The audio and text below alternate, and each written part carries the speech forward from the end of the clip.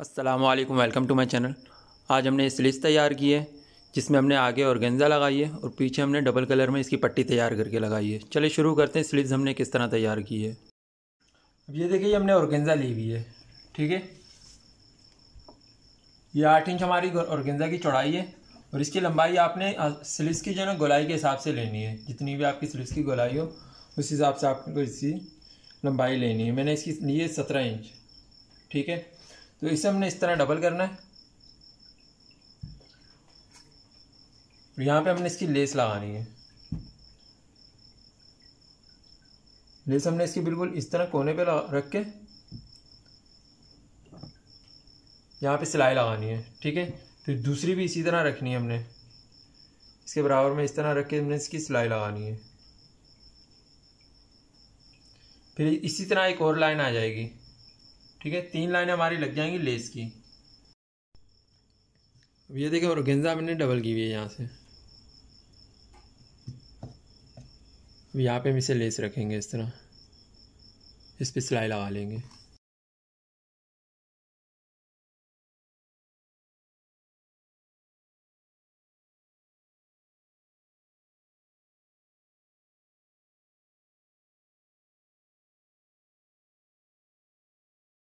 अब ये देखिए, मैंने तीनों लेसें लगा ली, ठीक है? तीन लाइनें लगा ली मैंने लेसों की। अब इसका जो एक्स्ट्रा कपड़ा बच रहा है, इससे इसे हमने काटना नहीं है, ठीक है? हमने एक और पट्टी तैयार करनी है दो कलर में। अब देखिए हमारी स्लीव्स है। हमारी स्लीव्स में ये कंट्रास्ट आ रहा है, ठीक है? इसका हमने कपड़ा ले लिया। ये आ गई हमारी पट्टी, ठीक है? दूसरा हमने इसका ब्लैक ही ले लिया। ठीक है, एक सेम ले लिया, एक कंट्रास्ट का ले लिया हमने। ठीक है तो इसकी हमने पट्टी तैयार करनी है। अब ये पट्टी हमने ली हुई है। तकरीबन साढ़े तीन इंच चौड़ी है हमारी पट्टी। ठीक है, पहले तो हमने इसे इस तरह जो है ना, मोड़ के इसे काट लेना है।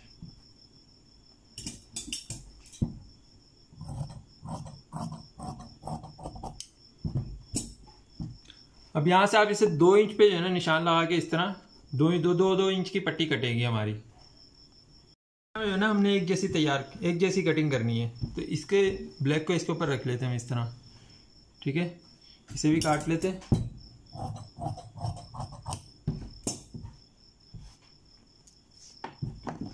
अब यहाँ से हम इसे दो इंच पे निशान लगा लेते हैं।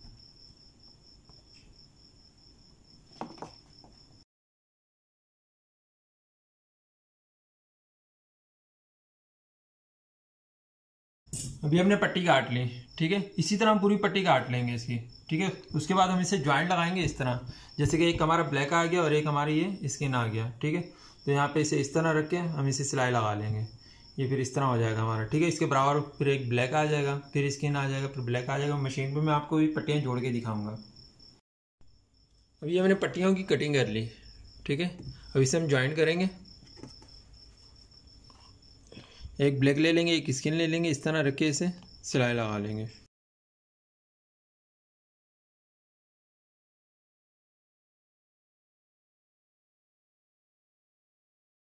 ये देखो, पूरी पट्टी हम इसी तरह तैयार कर लेंगे। एक ब्लैक पट्टी, एक स्किन, एक ब्लैक, एक स्किन।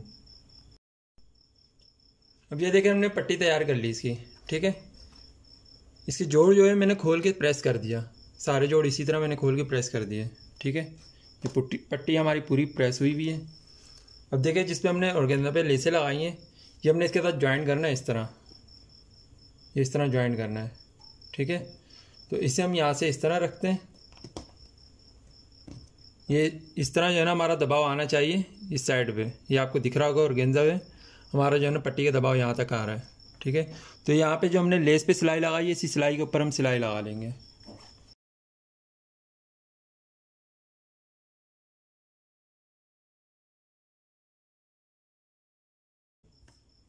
अब ये पट्टी हमारी यहाँ से इस तरह हो जाएगी, ठीक है? इसे हम प्रेस कर लेंगे, उसके बाद हम यहाँ पे सेंटर लेस लगाएँगे स्लीव्स और इस पट्टी के दरमियान में। ये हमने प्रेस कर लिया पट्टी को, ठीक है? अब ये पट्टी आपकी बिल्कुल एक जैसी होनी चाहिए पूरी, ठीक है? चौड़ी पतली ना हो गई इसे अब इस पर हम ये लेस लगा लेंगे सेंटर लेस ली हुई हमने, ठीक है? यहाँ पे इसे इस तरह रख के सिलाई लगा लेंगे।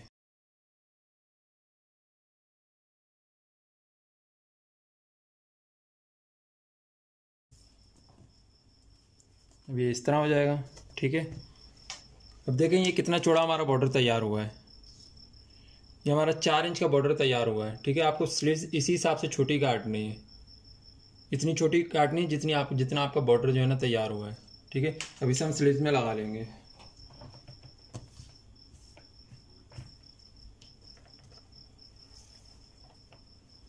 इसे हम यहाँ पे इस तरह रख के सिलाई लगा लेंगे इसे।